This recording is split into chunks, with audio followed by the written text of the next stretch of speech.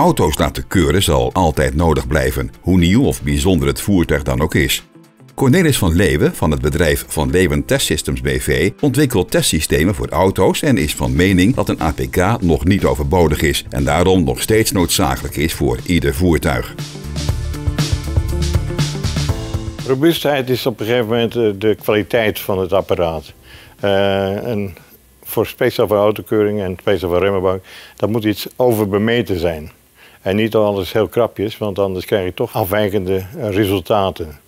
Uh, en kwaliteit, op een gegeven moment, de, de, mensen die investeren, kunnen daar op een gegeven moment vele jaren mee vooruit. En dat geeft op een gegeven moment ook voldoening. Automatiseren is belangrijk om op een gegeven moment de keuring meer echt te maken. Dus op een gegeven moment niet dat ermee gesjoemeld kan worden. Kijk, uh, we hebben geleerd dat er verschillende keurmeesters zijn die het niet zo nauw nemen. Men was op een gegeven moment een shortcut, op een gegeven moment zeggen keuren ze iets goed, wat eigenlijk niet toelaatbaar is en dat eigenlijk niet meer terug op de weg mag. We leggen de beslissing van, van goed of fout leggen we bij de machine neer.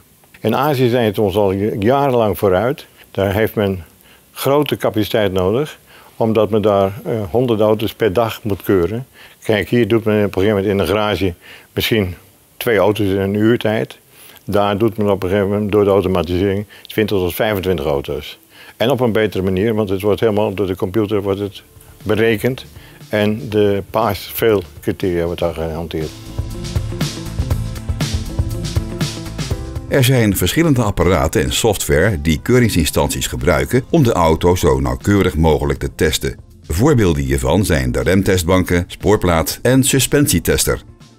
Bij een volledig geautomatiseerde testlaan komt het eh, voertuig binnen bij de teststraat nadat hij bij een receptie aangemeld is en waar alle voertuiggegevens ingevoerd zijn of uit een overheidsdatabase eh, binnengehaald zijn.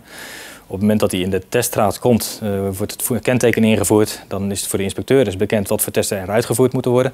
En vervolgens kan de bereider, want dat hoeft niet eens de keurmeester te zijn, kan de bereider kan gewoon door de teststraat rijden. Op die manier kunnen dus per inspectie kunnen dus drie à vier auto's tegelijk getest worden in de testlaan. Duurzaam is gewoon dat dat de machine beschikbaar is wanneer ze gebruikt moeten worden. Dat kan je alleen maar creëren door op een gegeven moment kwaliteit in je product te leggen. Bijvoorbeeld de rollen die wij hebben, die hebben een speciale coating, wat in feite een chemisch proces is. Niet, niet milieubelastend in, in die vorm, maar als het helemaal gehard is, is het milieuvriendelijk. Als je dus op een gegeven moment producten maakt met een veel langere levensduur, heb je ook veel minder milieubelasting.